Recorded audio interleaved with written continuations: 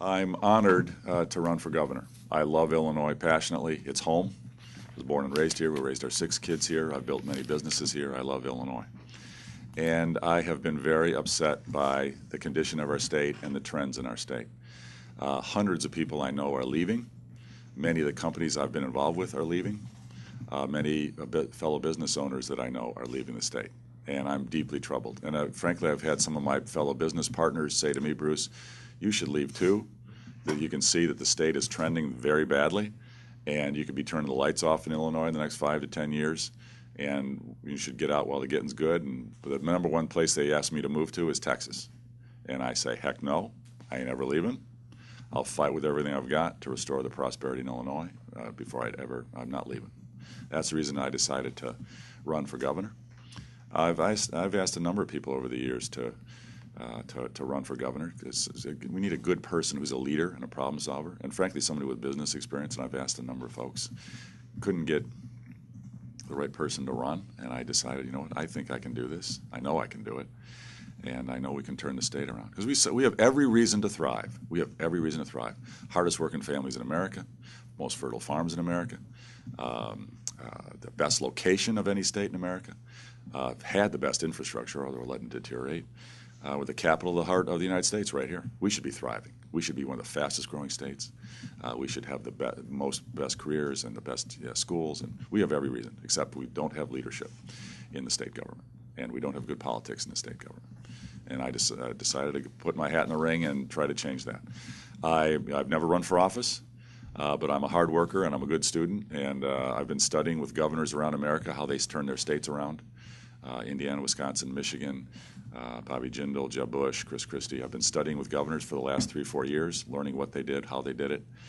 Um, and I'm honored to go to work for the people of the state. I got my work ethic from my grandparents primarily, who I spent a lot of time with growing up. My uh, grandparents were dairy farmers, had dairy cows and corn, lived in a little double wide trailer, mostly in Whitewater, Wisconsin.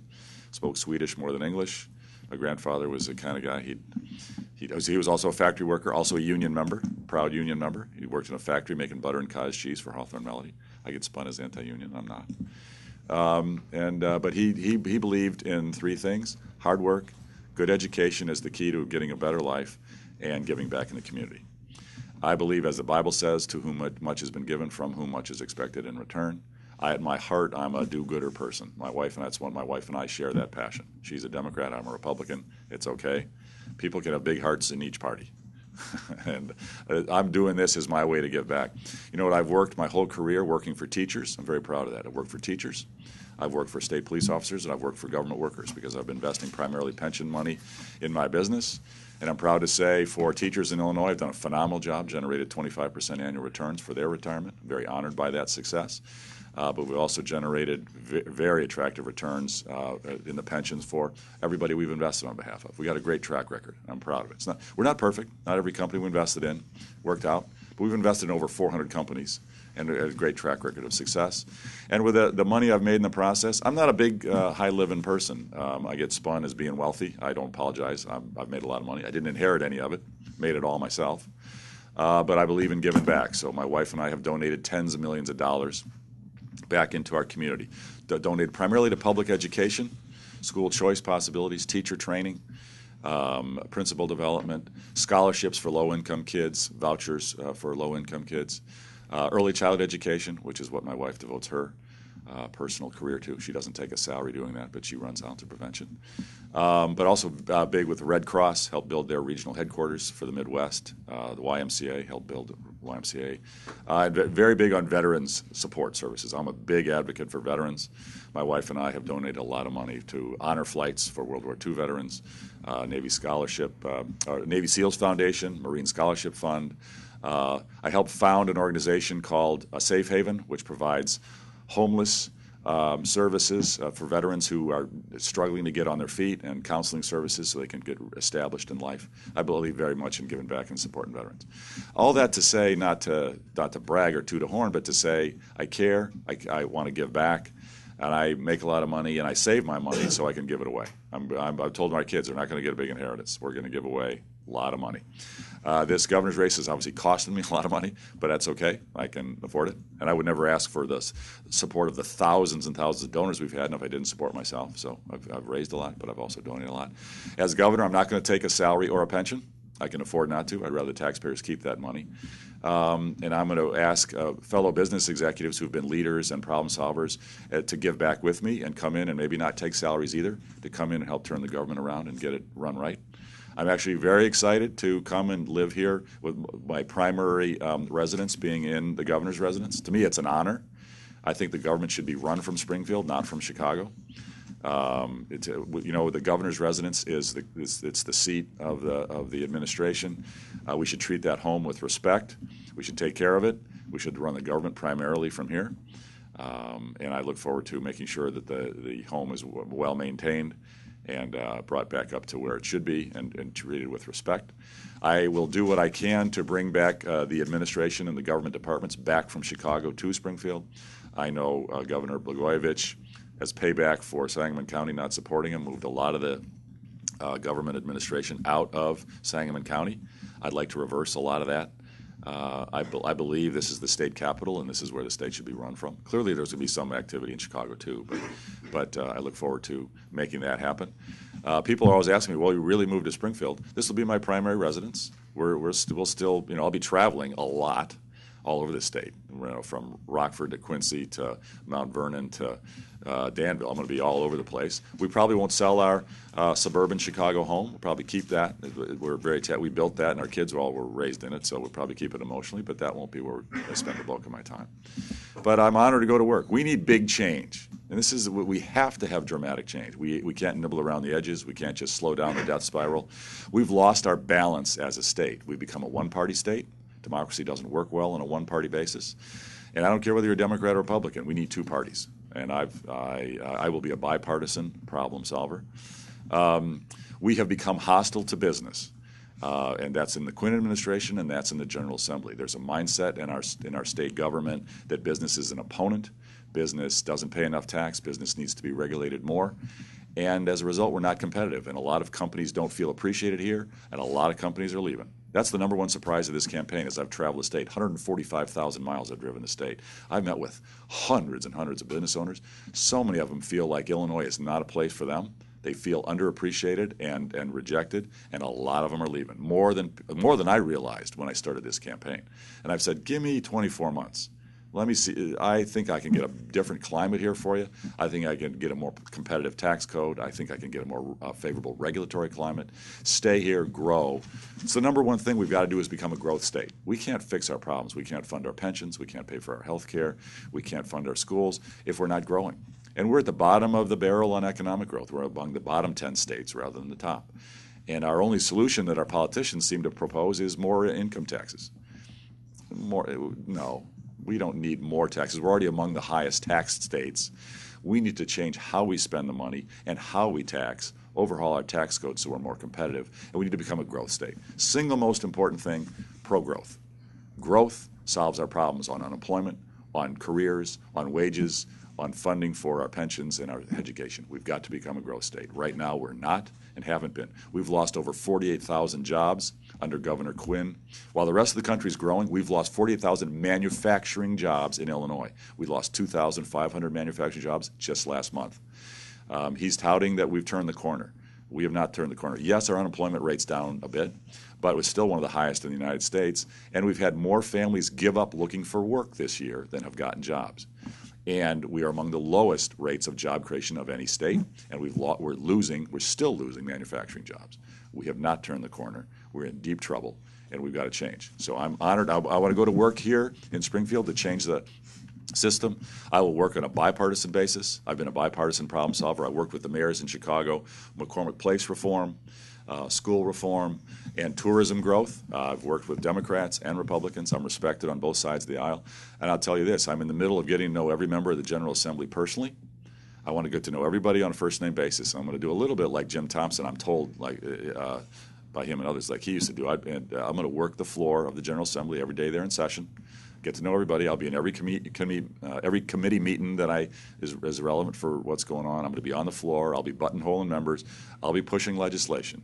We need to work and get bipartisan solution. The real solutions need to be bipartisan. They're not going to get done on a one-party basis.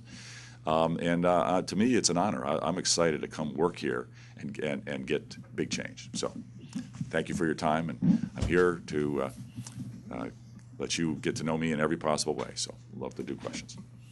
I think I start with the budget question. Okay. Um, and it's really the Amanda Vinicky question. You, you say that you want to cut back the tax uh, to three percent over your four years. Uh-huh. That's like an eight billion dollar hole there, but you want to increase it in some services that some people say don't, don't add up to like a billion dollars. Uh-huh. So how, and you say you want growth, but, We just added forty thousand jobs this last month. So how, how do you make this work? How, and you say you want more money for schools and roads and DNR and some other things. How, how does that all work? Yeah, so let's talk about that. We got to separate two things. We got to separate the short term and the long term. Short term, let me say this: we have never had a balanced budget that I can find. If you've found a year where we've had one, I'd love to know it. We've never had one. The politicians, we're required to have one by the Constitution. Our politicians call borrowing revenue, so they get away with, you know. We haven't had a balanced budget. Even back in the days when people would say we had a balanced budget or a surplus, we weren't paying into the pensions then. We, we, we kick the can down the road, we don't solve our problems. So, can, can we get through next year and come up with some short term solutions to get through next year's budget? Absolutely. And I'll work with the general. mean, like keep it at five percent? No, it, it means that I'll work with the General Assembly to put together some short-term solutions to get through next year's budget. That's very doable. That's what they've been doing for years. The trouble with with our current state government is we're always thinking short-term. How do we get through? What's the what, what, and frankly, we make short-term decisions that cost us more in the long term. I'll get through next year, but what I'm going to demand, and this is this is the key. This is what I l- hope you'll uh, come to appreciate. While we're getting through the short term, I will be driving and insisting that we made the structural reforms for the long term, which we have not done whatsoever under under uh, either Pat Quinn or Rod Blagojevich. We have not taken the structural reforms to the long term. We need to have a tax code that is pro growth. That means low rates, broad base. We need to have a regulatory climate that is pro business. Otherwise, companies will continue to leave. When the CEO of Caterpillar endorsed me day one in the race, he told me that Caterpillar has been growing all their jobs out of Illinois for years. And they're one of the most important employers, and their jobs are terrific paying jobs. These are great jobs. They're growing them out of Illinois because he said, Bruce, workers' comp costs Caterpillar five times as much in Illinois as it does in the other states. We're growing out. And so, and that's just one example. But it is down, and how are you gonna get the Democratic legislature to do this? Okay, so that's a great question. I'll say this: uh, uh, I won't ascribe names; it's not appropriate. But I'll say Democrats in the General Assembly, who I've been meeting with, have said to me, Bruce, we need a leader in Springfield. We don't have one. We haven't had one for a while. We need a leader who will take the arrows. That's their term, not my term. Who will take the arrows? We don't take arrows in the General Assembly. That's not what we do. They still have to pass it. How are you gonna pass it? Well, on a bipartisan basis, they'll get Republicans to do it, and I'm very active in helping the Republican candidates. And I have many friends uh, who are Democrats in the business community and in uh, politics. I have friends on both sides of the aisle, very close, good working relationships. The key thing is to make sure that the General Assembly members who stick their necks out to take tough votes don't get taken out by the special interest groups that have to be taken on. So you promise you'll fund their campaigns next time? We're, we are going, we're, we are going to work on a bipartisan basis to be advocates to help the General Assembly members who take tough votes. So what, That's, what kind of specific votes are you gonna ask them to take that, that are gonna put them in jail? workers' comp reform, That's- tort That's reform. gonna be one of the short-term solutions that you're talking about? Oh, a tax code overhaul, uh, closing some corporate tax loopholes. See, we, so to, to get back to the point, so uh, I want to understand, we're going to work on a bipartisan basis to solve the problems and take some tough votes. Now, let's come back to the policies, short-term, long-term. First, um, on the, the long-term structural reform, workers' comp reform, tort reform, Tort reform, Tax- so you, what, you want a cap on damages? There's a whole bunch of things we can do. I mean, again, you've got a Democratic legislature that, they've not been for that for thirty years. Why would they be that, for that for you when you've just been badmouthing them and that side of things? uh, we will get that done. I've had the discussions. You don't- You don't, just can't do name anybody that's gonna do this on the Democratic side. Um, I, I mentioned how the process will work. That's the most important thing. Which That's is you pay for their campaign. no, no, I did not. I didn't say. I didn't say that. I didn't say that. Um, uh, we'll have bipartisan leadership and bipartisan problem solving because because it's needed. And I've had Democrats in the General Assembly say that they agree with me on this. We have to have it. And It And we don't. be, it might be part of this, I just wanna get the question in. State employee count has gone down since George Ryan was governor from eighty-one thousand six hundred to sixty-one thousand five hundred. So if any of your plan involves cuts to the workforce, which of course Springfield has seen a lot of, we've already lost twenty thousand state employees just in the last twelve years under these Democrats. So are you saying you can cut more and should there be cut, should they be cut?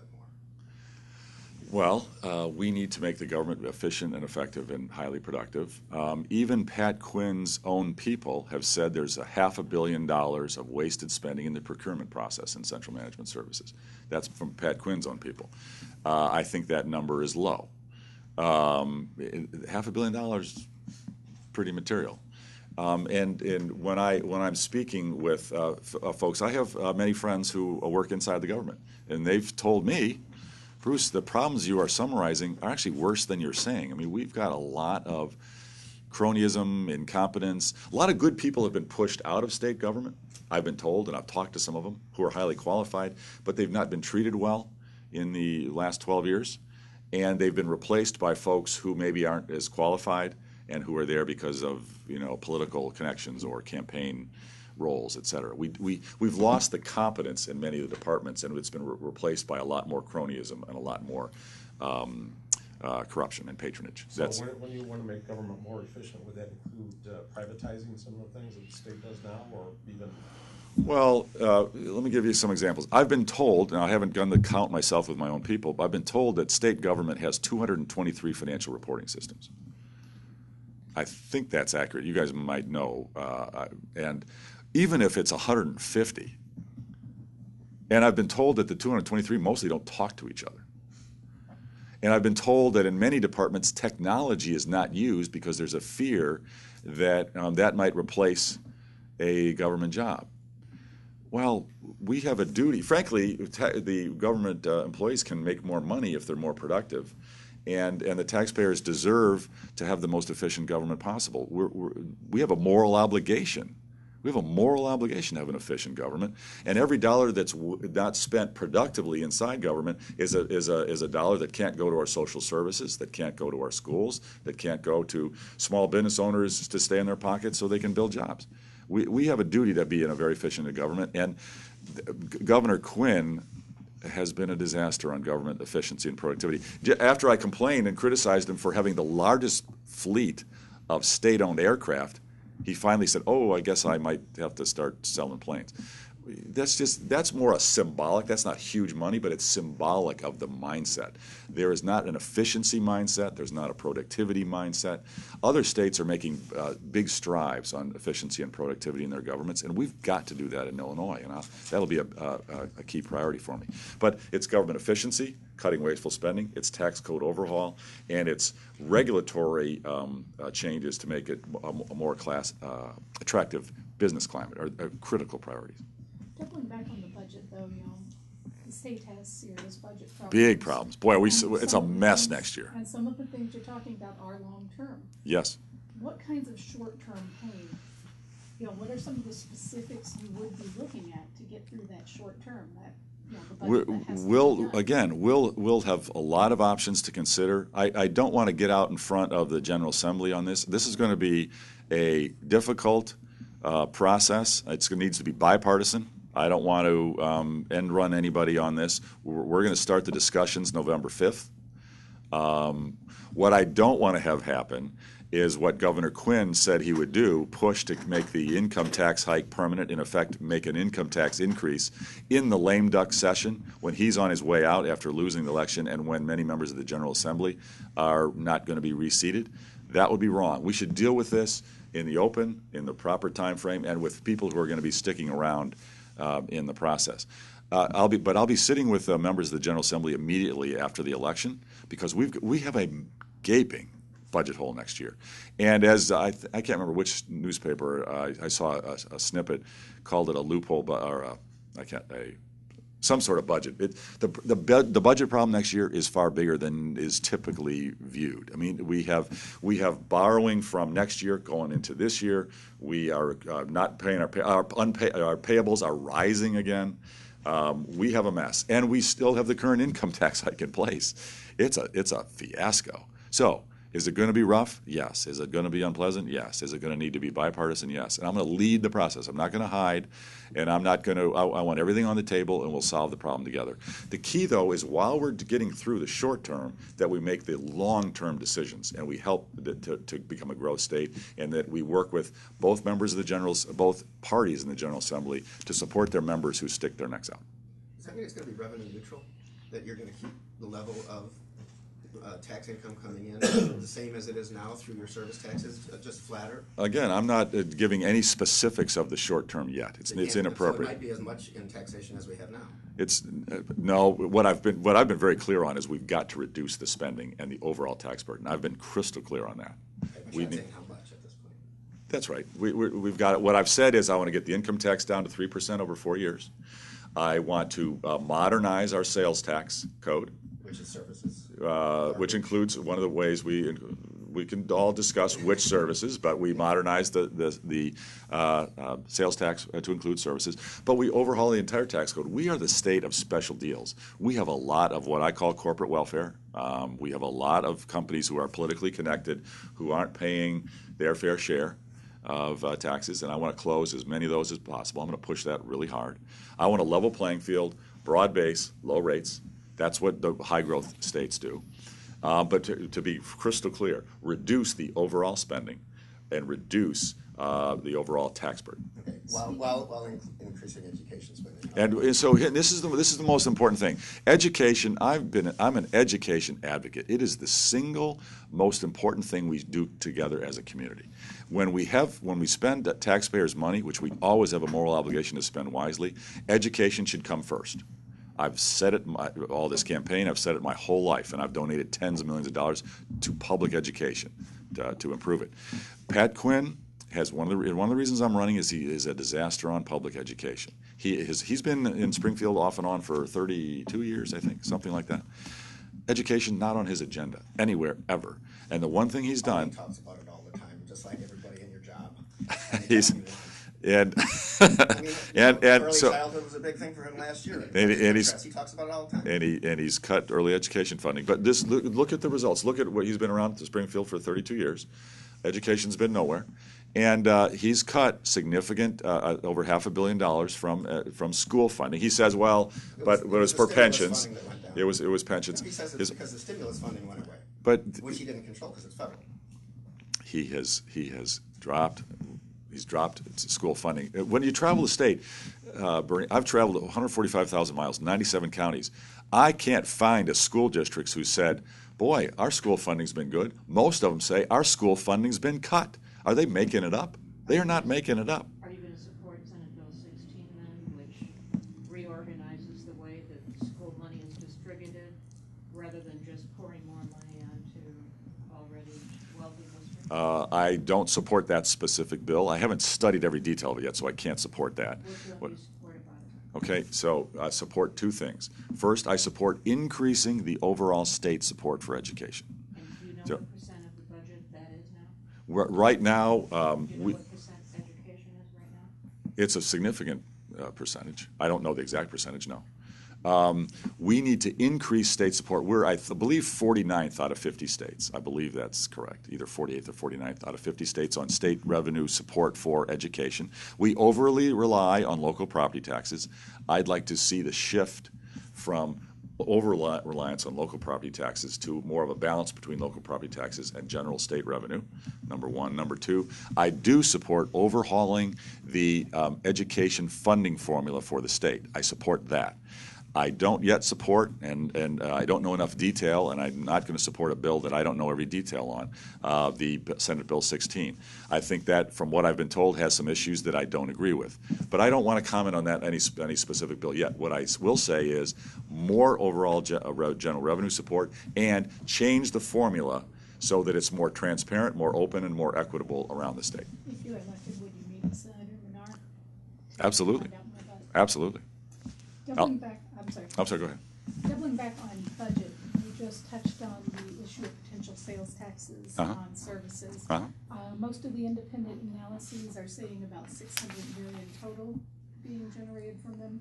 Number one, do you agree with that figure? You don't think it's on track? And number two, can you talk us through the guiding principles, kind of the Yeah, general that's a great- things that led you to pick those services? Yeah. Um, let me first say this. We need to overhaul the entire tax code. Everything should be on the table. Sales tax, fuel tax, use fees, income tax, real estate tax, et cetera. And we should look at everything. And we should compare ourselves to states around America, especially the states that are growing rapidly. Compare ourselves. What do we tax highly that they don't? What do they tax that we don't? What, let's let's learn from other states and apply some principles. Overall, the, every economist would agree that I've ever heard from, and I was an economics person as my background. Broad base, low rates is the most pro growth. Simple, flat, broad base, low rates. Um, in Illinois, we have a, a narrow base compared to most states, and we have some high rates. So we're, we're not in what the most economists would say the best, the pro growth uh, position. Um, when it comes to specific taxes, what we did is we said sales tax needs to be uh, modernized. Most well run states include some services along with products. So that's what that's the principle I want to get on the table. I want everybody to know, as governor, I'm going to drive a, a, a service sales tax overhaul. Now, which specific services do we include? I will debate and work with the General Assembly on. We we we threw out some examples of what we could and probably should include. It's not exhaustive. It's not exclusive, and it's not like, well, everything on that list absolutely has to be there. Not saying that. I'm getting the principle on the table. I've got to work with the General Assembly on the specifics. But to me, it's not right. It's both not fair and it's also not good economic policy to have a tax code where if a, a lower middle income family has to pay a sales tax to buy shoes for their uh, daughter to go to school, they pay a sales tax. But if a business person leases a plane in Illinois, they don't pay a sales tax. Other states have a tax on that transaction. We can find a way to, to balance the tax code and modernize it. Other states have done it, we haven't, and that's that, that's the that's the key principle. I'm not today ready to say, well, we have to tax this, and we absolutely should never tax that. I'm not saying it. I'm getting the principle on the table, and I know we need to broaden the base and try to lower the rates. You you've said also that, uh, I, I believe at one time that the, the, the examples that you included in your plan were things that would not hit everyday people. The largest uh, revenue producer on that list is legal services, which I think a lot of everyday people use legal services, do they not? For doing wills, adoptions, whatever it is. So it, it, doesn't that become kind of a regressive tax on, on middle class, lower class people who might have to use legal services? Well, then, you know what, if, if that was a major portion of your average lower income family's budget, maybe, maybe that shouldn't be on the list. That's not my understanding. I mean, people do spend some money on legal services, but not, it's not one of the core, uh, major items in a, a typical family's budget. My point is, let's look at what well-run states do. Let's broaden the base, lower the rates, become growth. Frankly, what the, mo- the best thing I can do for a lower middle income family in this state is make sure the schools for their kids are fantastic and make sure we've got a booming economy so that lower income family can become a middle income family. That's the best thing I can do for them. And if modernizing the tax code um, and a certain thing that they might spend a little bit of their budget on maybe cost a tiny bit more, but they now have three great job opportunities for the breadwinners in the family to choose from. Boy, that's a good trade off. And that's the kind of trade off, that's the kind of strategic thinking that we got to bring to the process and that I want to drive. Pat Quinn is clueless on economics, clueless on business, clueless on economic growth, and he's had six years to lead ref- reforms.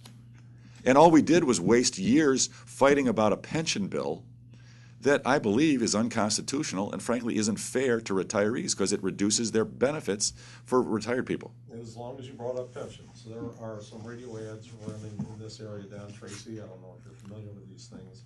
He is talking to state employees, said that under your, if you're elected governor, their pensions are gonna be protected, including the COLA.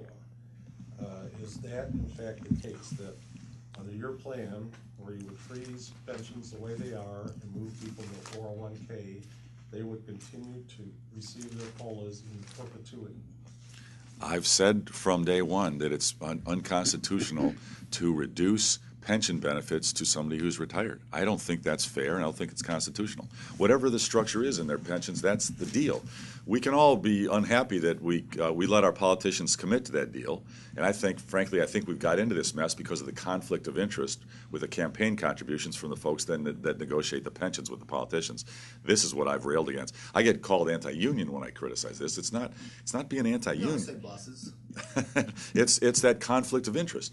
I'll be the. Uh, I've got to stand up. The tax, somebody's got to be in the loop on this. Who's not being given that campaign cash and will fight for taxpayers. That's one of the reasons I'm running. But- Back to your point. Here, let me get the. Oh. So, I, I've I've said from day one, if somebody's retired, they got their deal.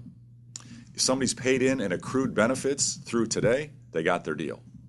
I think our Constitution's pretty clear. We have some of the strongest constitutional language in the nation. Pensions will not be diminished or impaired. Okay, well, if you got a contract and the, and the pension contract says you get this, and then you go, and then a politician goes, "Well, I, I, I signed that contract, but I'm, I was just kidding. I'm taking it away from you."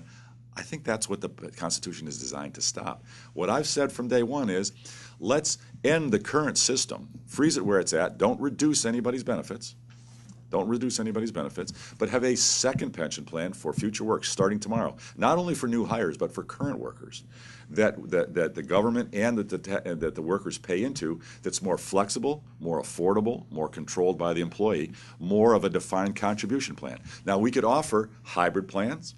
We could offer a defined benefit plan in the future if that's what people really, really want, but they've got to be very different than what we've had in the past. Much more affordable, more flexible, and, and more uh, for, for the benefit of the taxpayers. Our current system is um, just not affordable, But- and, but- and we've got to we've got to go in a different direction. The direction. point is then, you would guarantee to keep in place the largest single uh, driver of increased pension costs at the same time as moving everybody into a four oh one K plan, so you're gonna continue to pay money, more and more money out of these pension plans without putting employer contributions or employee contributions into them, how do they survive? Well, well, we have to put more government money into the old pensions. We have an obligation, and we have a we have a, we have a constitutional language saying that we're not going to reduce those benefits. You wouldn't divert government money into the four oh one K plan then? We, well, we're going to put we have to put money into that too. So you're gonna pay for both pension systems?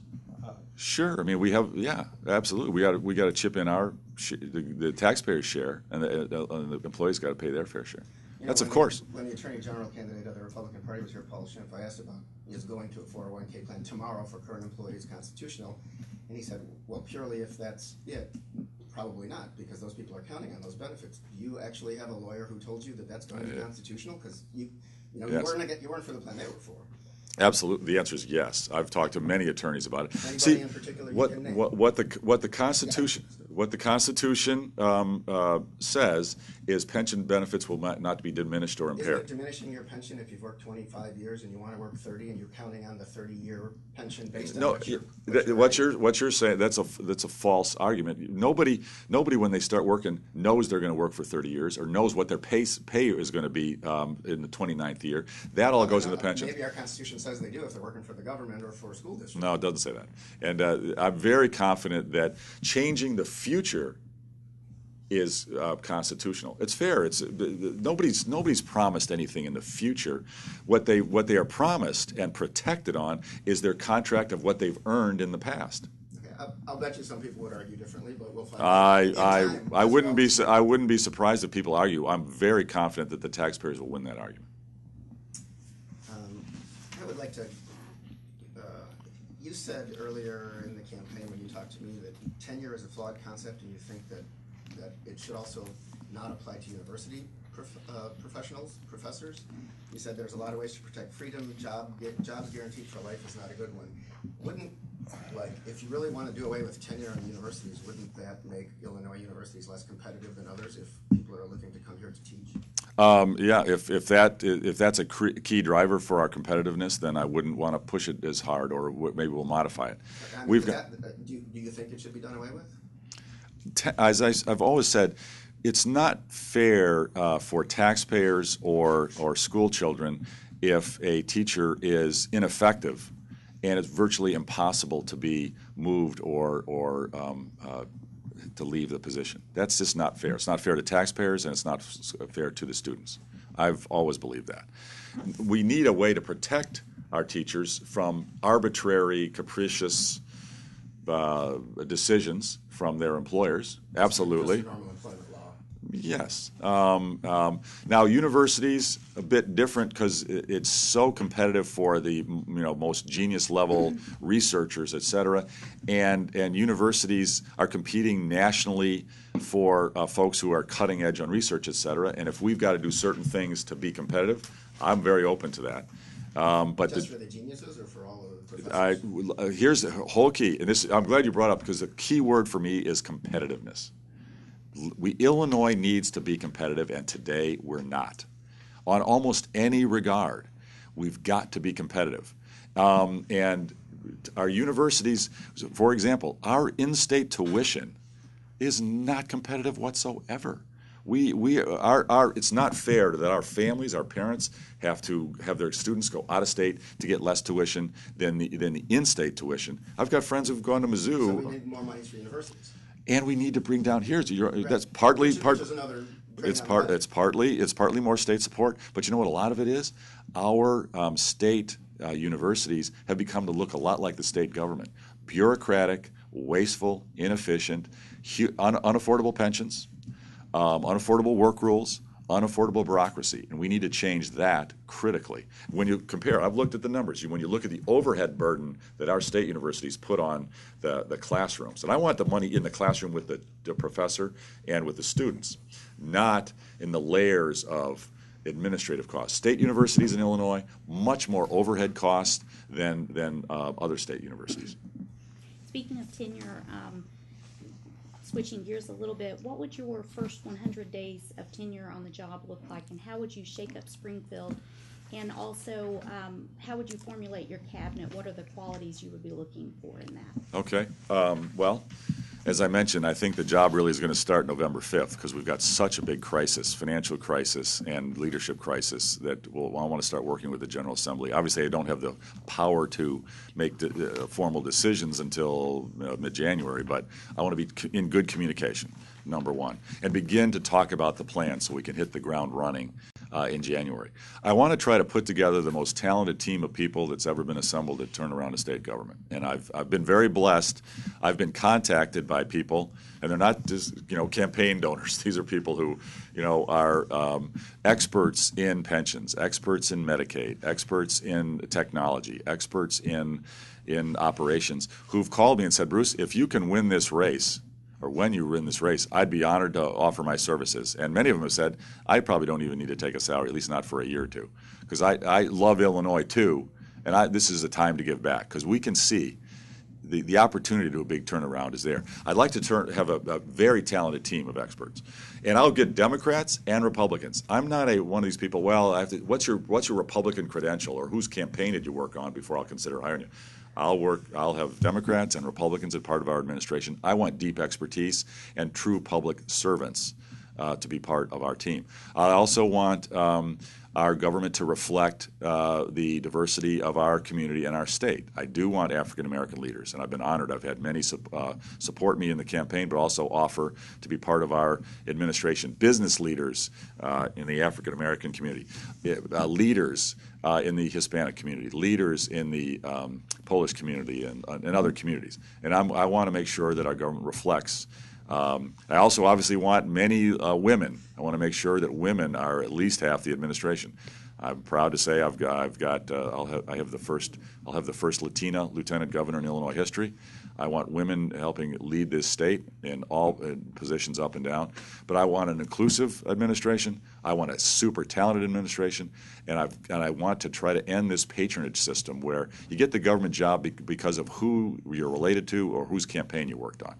And then we've got, again, I've got a very full agenda because we've got to get through the short term financial crisis, and it is a crisis. It's worse than anybody's talking about. Um, and even Quinn doesn't like to talk about it because the reality is the income tax, he hasn't let the income tax even fix our problems. He doesn't even want to talk about all the shenanigans that are even going on now with the income tax hike in place in order to come up with the money. And his, his answer is, and right now he's running around the state right now committing hundreds of millions of dollars to projects to buy votes with taxpayer money. He's going to, he's, I think he's Southern Illinois, just promised a project down there because he's going for an endorsement in the local paper. Went to Quincy, project, promised money for a project there because he wants the endorsement of the paper. He's running around making promises of taxpayer money to try to, you know, buy votes and influence folks. That's what he does. That's what these politicians do, use taxpayer money to buy votes. So you're not gonna have any projects to announce when you're governor? You're not gonna do a infrastructure plan? Every, every governor does an infrastructure plan. I will have a detailed infrastructure plan and we'll grow our infrastructure. What I won't do with Pat Quinn, like Pat Quinn is, is fail to invest in our infrastructure for years So you're spending- and, and, and run around at the last minute making promises where he doesn't have the money to keep them. And what you said about, uh, you know, who you're not gonna hire, does that mean all of these Republican county chairmen or precinct committeemen in Sangamon County are not gonna get hired onto your administration? Uh, they, the, talented people will be uh, the ones we hire. I'm going to bring in talented people. whenever that you talk about bringing in talented people, um, all leaders are visionaries, and at times, sometimes our uh, staff does not always agree with us. How will you handle situations like that? Well, that's for sure. I mean, the, you know, no two people are going to agree 100% of the time. That'll never happen. Uh, I want to get the most talented uh, team of folks around me that I can find. I want to let them make their decisions. I'm not a micromanager. I'm a strategist, I'm a salesperson, and I'm a leader. I'm a motivator. Um, and I'm going to be traveling a lot. I'm going to be traveling the state and the nation and the world on my nickel, not on this taxpayer nickel, recruiting companies to come here, recruiting talent to come here, um, getting ideas on good government policy for our state. Uh, but I'll also be traveling the state, you know, meeting with voters, listening to their concerns. I've, you know what? One of the things I got to tell you, I'm surprised how much I've enjoyed this campaign. It's been brutally hard. It's not fun being knifed in the back every day and made with these false accusations. It's hard on my family. But you know, the people of Illinois are phenomenal. I've loved it. It's been very energizing, and I look forward to spend a lot of time with the voters once I'm governor as well. So I'll be traveling a lot, but I look forward to being based here in Springfield, um, and uh, and uh, you know, be uh, to me it's an honor. To me, it's an honor to be in the governor's residence, and I want the government based out of Springfield. Can we talk for a minute about local government, sir? Sure. You indicate that you want to get rid of lots of local governments Mhm. because we have so many in Uh-huh, yep. And in the first six months, do you know the laws that govern local governments and can you tell us how you plan to accomplish this? Yeah, so it's a great question. Uh, I've, and I've said from day one in this campaign, um, mayors and county chairmen are CEOs. They're just like me. I'm dealing. This, I'm CEO for the state. They're CEO for their local government, their communities. They have to have balanced budgets. They need a good business climate. They need value for taxpayers. They need great schools. Same things I need for the whole state. I will form a task force day one, and I've said it from the beginning, and I've already started talking to people about it who will be on it. Task force of mayors from around Illinois, county chairmen from around Illinois, and school superintendents from around Illinois. I've said it, we're talking, we're identifying the people right now, they're very excited. And I've said, look, we have a hugely expensive, inefficient layer cake of government in Illinois. We have 7,000 units of government, double, I believe the numbers I've seen, roughly double the average state, 2,000 more units of government than the number two state. Why do we have that? What units of local government do you want to eliminate? I want to solve that together as the task force. I want to set the goal. People have Are tried you for gonna have years and years. Yeah, what did the governor did the governor drive it? Are you going to have townships? Did the governor have a legislature of his own party? And This will be You know, when you- bipartisan. When you said this in the six month thing, I called local legislators here, all Republican, they all said, that can't happen. What can't Because happen? our, our townships are our most effective governments, local governments are the most effective that serve the people. How do you fight, how do you fight that? I've watched school districts try to consolidate for thirty years, and maybe they get it done over time. The law This is requires a majority in each of the That's right. districts that are And, consolidated. and who's gonna change the law? You gonna make them change the law? Uh, I, I- uh, uh, Bernie, I said the process. We are going to have a bipartisan process to support the General Assembly members that stick out their necks and take the tough votes. That's the key. So, to, to your Let's go back to local government. Yes, so, so I'm not going to today list off the specific ones that I want to personally close because it's going to be a bipartisan solution. What I want to do is set the agenda.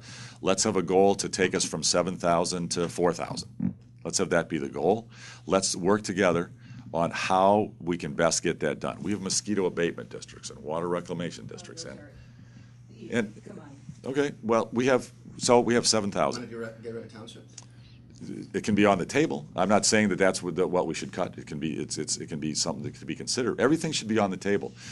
Here's every, I, I realize it's easy to say, well, it's not possible. You can't do it. That's certainly you know it. But the reason I'm running is I don't want to take anything for granted. I don't want to take anything as a given, and I want to be a bipartisan problem solver. We have to do it. We don't have a choice.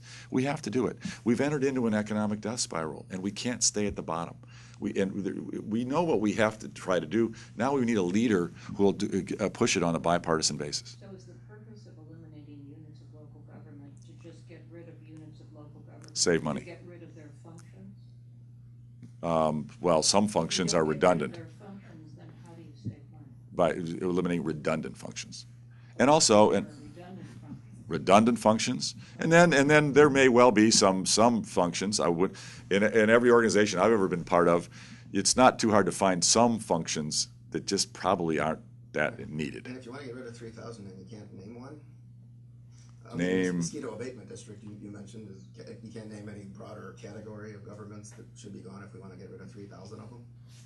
Well, what are the categories? Schools, townships, Schools, uh, cities, water villages, reclamation. You know, yeah. Sewer districts? yeah, all that. We should look at all. How long realistically would this take? And you're laying out a lot of really ambitious things, tax reform, tort reform, workers' comp. Where does this fall in terms of the priorities?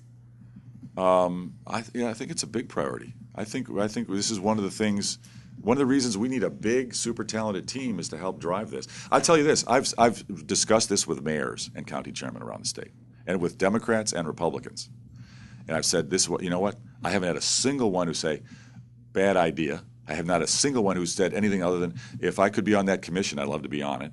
And many of them have said, "Bruce, here's here's ten ideas I got right now that I'd like to see us do to cut out the wasteful spending and to cut out the redundancy and to change the unfunded mandates in Illinois. Unfunded mandates, stunning. Ca- forcing local um, um, units of government to spend money they don't have, and that where many of the local communities would say, we, that mandate isn't productive, it's wasteful spending, we got to get rid of it. Could you And give me an example? um, You must have one. uh, I don't want to. I don't want to. Safety? Signs that you have to put up, or what? Um, requirements. We have requirements. Um, oh, boy, unfunded mandates. There's hundreds. So Name one. Name one. I'll have to send them to you. I mean, I can't. I've got. Here, here's the issue. We have. We are one of the largest, most inefficient government structures in America. That's just true. And when I've sat with the mayors and they've said, Bruce, here's the list of 10 things we've got to change, we can really save a lot of money. I've, I'm collecting these. And I I'm, don't remember any of those, those, anyway, that's fine. I, it's not the right time to get into that. It's not the right time to get into that. Oh, after the election is? Yeah, Yeah, that's when I fine. gotta do it. It's fine. Um, Absolutely. IDOT, one of your favorite subjects these days, probably. You have said that the other hundred people who are hired as staff assistants at IDOT, and I know they just imposed a monitor, should be fired. This was reminiscent to me of when Robert Blagojevich took office, and he said, all these cronies for George Ryan, let's fire these thirty-one people, and he handed out a list. Six hundred thousand dollars in legal fees later, some of those people lost their jobs after the appellate court agreed. About nine of them kept their jobs. Uh, I asked Blagojevich when he said that, do you know any of these people and do you know what they do? And he said no. Do you know any of these hundred that you want fired and do you know what they do and might they be okay? Or is, is it just fire them because they were hired through the wrong system? Um, it's really more the latter. It's they were hired illegally. So you want them fired? yes, you know any of them? uh, I know two of them. Who? Why would why do you want to know the names? I don't know, because it, it, it puts a face on it. I'm not going to name names. Okay. That's fine. Uh, You have talked about using executive orders as a means of jumpstarting change. Uh-huh. Uh, Are there specific instances where you can see using executive orders to make changes, or, or how do you use them? How, how would you employ executive orders? Um, I think executive order is one of the most important uh, uh, tools that the governor has in Illinois. One of the reasons I was willing to take this Herculean task on is the governorship in Illinois is one of the most powerful political offices in the United States. You have executive order ability to impact many things, not everything, but many issues. You have executive order ability that many governors don't have. Uh, you have line item veto, a mandatory veto. You've got a veto. You've got veto um, uh, capability that is very um, impactful in the legislative process and can be a big negotiating tool uh, with the General Assembly. Um, you appoint most of the key positions, virtually all the key positions uh, in the government.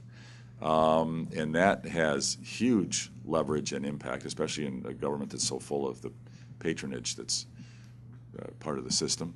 Um, you control the checkbook and the spending as governor. Um, and as a governor who's willing to actually truly um, drive efficiency and, and cut some costs and wasteful spending, um, that's big uh, uh, opportunity and big negotiating ability with the General Assembly. If a governor, like we've had for 12 years, a governor always wants to spend more than what the what the um, General Assembly says we have in the budget. The, the, the, the governor's pretty weak. I mean, the governor has no. Uh, you can't even do every, every project that the governor wants.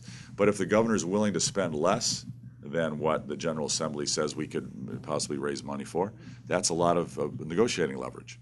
So do And you have I'm- an idea for an executive order that you would issue early in your administration to correct some problem that you see going on? Uh, I've got uh, my some of our legal advisors working on that right now. I've got actually a list of three that I think we might want to go after early on. But again, I, I know you guys want me to say specific. Yeah, I'm not going to say. Can you give a broad outline of the kind of thing? Well, I've- Yeah, I hired guess like, um, you know, I mean, the president has come under fire from Republicans who feel he abuses the executive order. What, what parameters would you use? You know, how do you avoid overusing it?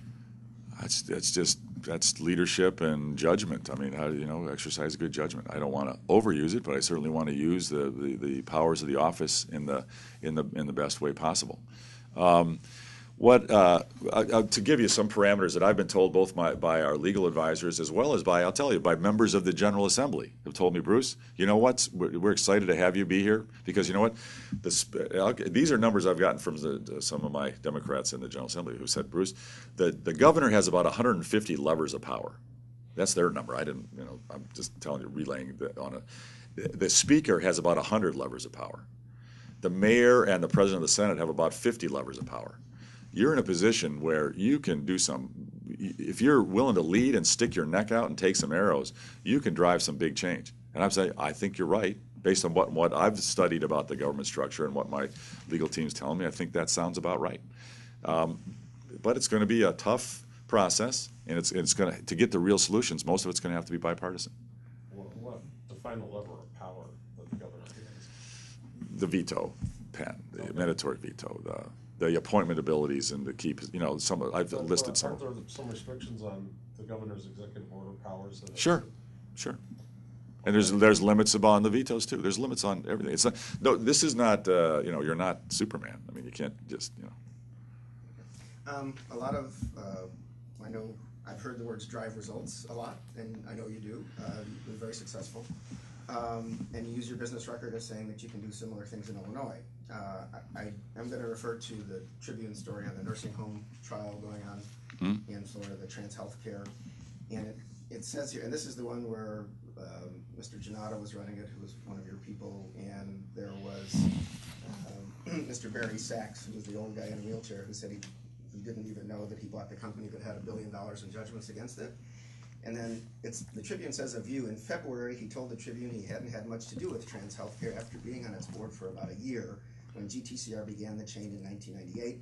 However, the Tribune reported Monday that a court document in the bankruptcy case indicates Rauner still served on the trans healthcare board four years after the inception of the chain. What's more, the plaintiff attorneys allege in other documents filed under seal that the nursing home company was run right up until the transaction with Sachs by an investment committee of GTCR partners that included Rauner. So, couple of things.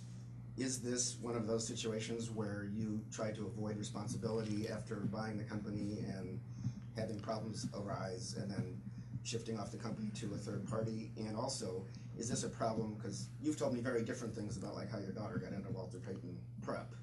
Uh, Did you, did you know you were misleading the Tribune when you said a year and it was four or more?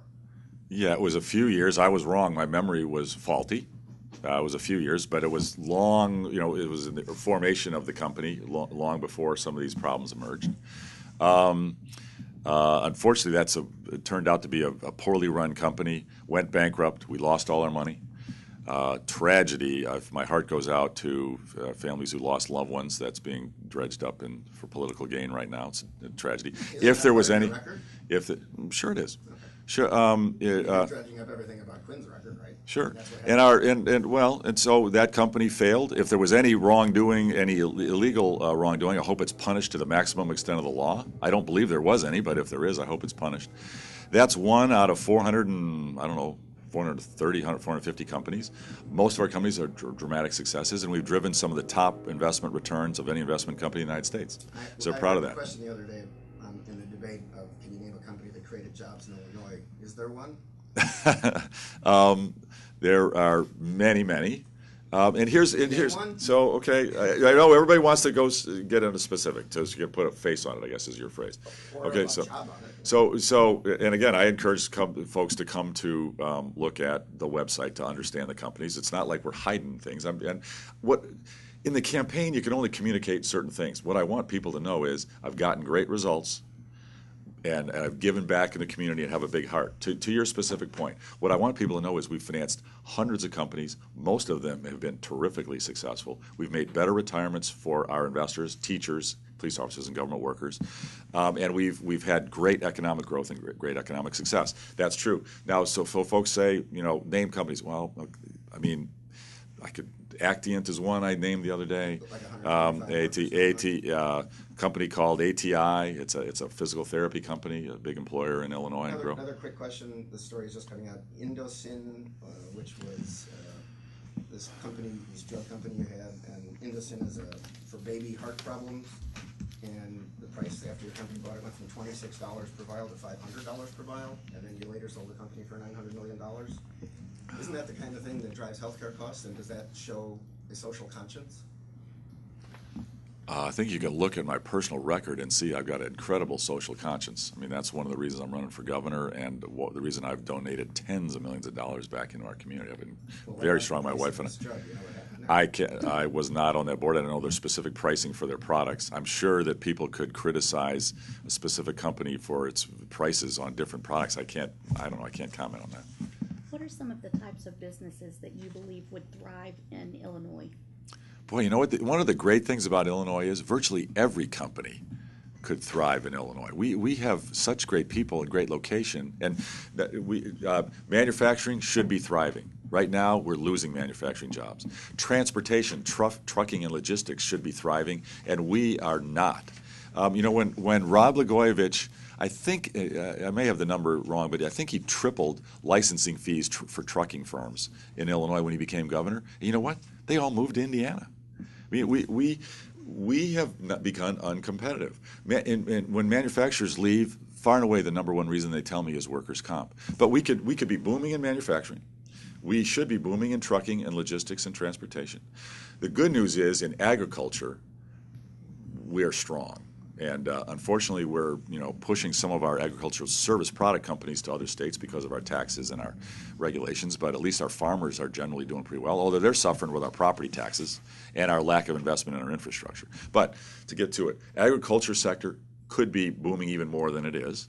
Um, healthcare, pharmaceuticals, um, uh, uh, health devices, et cetera. We're doing pretty well there, although some of those companies are leaving. We could be doing far more. Um, um, co- consumer products. Historically, Illinois has, has been pretty good in consumer products. We could do far more. One of the areas that we are way under our weight and where I will push very aggressively is in the technology sector. Um, that, that's where so much of the economic growth is in, America, and it's one of the reasons that California is thriving despite uh, being not a particularly uh, business friendly state. Same thing for uh, Boston and New York, because the tech sector is booming there. It's, oh, it's here in Illinois, it's got some growth in it, but we could be doing far more. It's one of the reasons I went on the strategic advisory board for the chancellor at the University of Illinois. The U of I is one of the great computer science and technology schools in the world. We're defunding the school. We're not growing it, and their graduates have a pipeline to Silicon Valley and Seattle. I want to cut off that pipeline and keep their graduates and their researchers in Illinois, eh, help it, help the U of I expand, and I want to see the technology sector leveraging Champaign Urbana's success booming in Illinois, and I'll be a big priority. Another one is tourism. I, I got to know tourism by chairing the tourism bureau eh, at Chicago. Chicago was not doing well in tourism for years. Uh, Mayor Daley was frustrated. He said, Bruce, can you help me figure out how do we get tourism going better in Chicago? I said, well, I'm not an expert.